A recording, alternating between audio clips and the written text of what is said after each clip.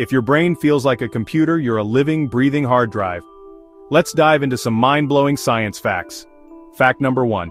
You can save memories to your brain like a file on a computer. Imagine downloading your homework straight into your head. No more all-nighters.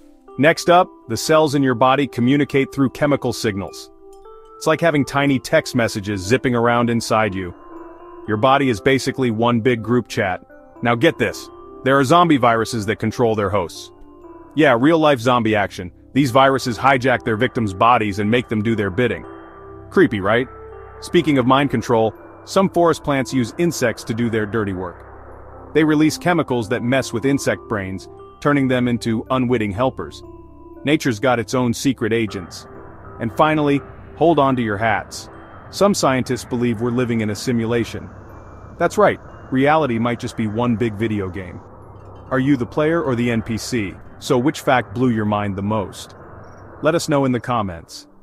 And don't forget to like and subscribe for more mind-blowing science facts. Stay curious.